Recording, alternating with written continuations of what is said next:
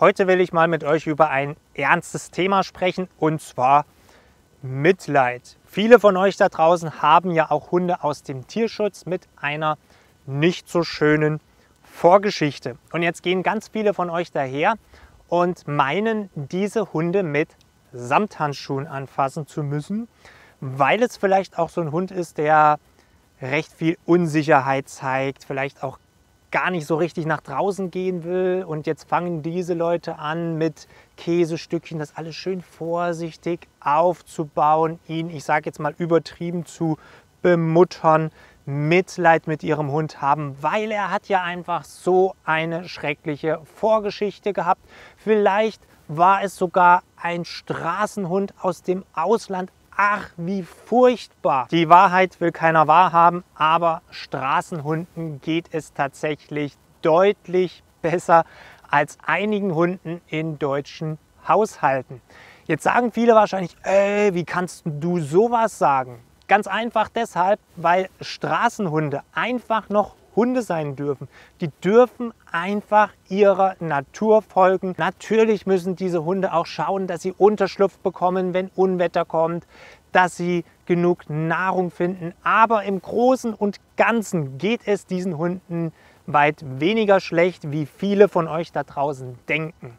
Denn wenn ich jetzt so einen Hund nehme von der Straße, pack den in einen konventionellen Haushalt. Dann werden an ihn von heute auf morgen zahlreiche Erwartungen gestellt, mit denen der Hund vorher einfach überhaupt nichts zu tun hatte. Der Hund, der darf auf einmal nicht mehr bellen und um Gottes Willen, er darf auf gar keinen Fall knurren, schon gar keine Kinder anknurren.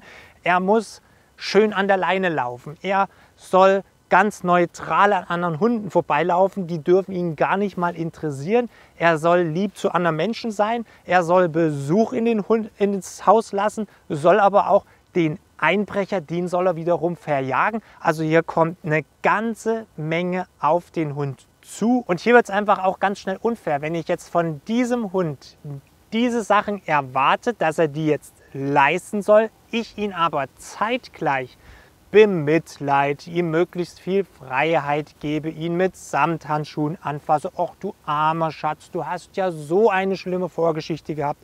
Komm, ich bin doch ganz lieb zu dir. Und dem Hund deshalb gar nicht so richtig erkläre, wie das Ganze jetzt in diesem Haushalt funktioniert. Denn Mitleid ist eine sehr destruktive Emotion. Mitleid hat noch keinem da draußen geholfen, hat noch nichts Positives bewirkt. Kannst du dir in etwa so vorstellen, wie wenn du, ich sag jetzt mal, Höhenangst hast. Du möchtest jetzt mit einem Kumpel zusammen eine längere Wanderung machen. Und jetzt kommt hier eine Brücke, die ist relativ schmal, da ist nur so ein Geländer, wo man sich dran festhalten kann. Aber auf dieser Brücke geht es 100 Meter weit nach unten. Jetzt könnte dein Kumpel zu dir sagen, ach, das tut mir aber leid und hat jetzt einfach Mitleid mit dir, dass du hier Höhenangst hast und sagt, komm, wir machen das ganz, ganz vorsichtig. Komm, ich lock dich jetzt hier vielleicht mal mit einem 20-Euro-Schein. Wenn du die ersten Meter gehst, dann bekommst du diese 20 Meter, damit du einfach merkst, dass das überhaupt nicht schlimm ist. Und du gehst vielleicht dahin, ja, so ganz vorsichtig, holst dir die ersten 20 Euro und rennst sofort wieder auf sicheren Boden. Ähnlich ist das bei Hunden, die Angst haben, vor die Tür zu gehen. Denn hier machen das viele Menschen ganz genauso. Die möchten den Hund mit Samthandschuhen anfassen und locken ihn einfach mit so Käsestückchen erstmal ein Stückchen raus, dann noch ein Stückchen raus und doktern hier einfach ewig dran rum und der Hund kann immer wieder einfach schnell raus und zack, ist er wieder im Haus drin. Um jetzt mal wieder bei dem Beispiel mit der Brücke zu bleiben.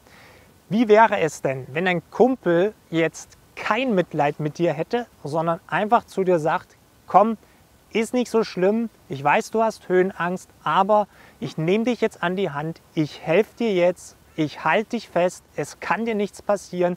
Und wir gehen da jetzt zusammen gemeinsam drüber. Wie ist jetzt die Chance, dass du über diese Brücke drüber kommst. Anfangs mit Mitleid, hm, komisch, ah, wahrscheinlich hättet ihr dann den Versuch abgebrochen, aber so besteht doch eine viel, viel bessere Möglichkeit, dass du hier einfach deine Komfortzone verlässt und es einfach mit der Hilfe deines Kumpels zusammen schaffst, hier über diese Brücke drüber zu gehen und einfach vielleicht auch auf der Brücke dann merkst, hey, alles cool, es passiert mir nichts. Genauso ist das bei diesen Angsthunden, die nicht vor die Tür gehen wollen. Das heißt, hier muss ich auch die psychische Barriere erstmal durchbrechen. Das heißt, dass mein Hund eben nicht wieder zurückrennen kann, sondern dass ich hier mit der gleichen mentalen Einstellung rangehe und einfach meinem Hund sage, komm, ich halte dich jetzt fest, wir gehen da jetzt zusammen durch und dann kann dein Hund auch draußen lernen, hey, alles cool, es passiert mir nichts. Ja, deswegen hör auf hier so viel Mitleid mit deinem Hund zu haben, sondern sei einfach so der ja, der, der Leuchtturm, die stabile Säule, an der er sich orientieren kann, der ihm einfach Sicherheit vermittelt, dass man hier einfach gewisse Sachen zusammen durchsteht.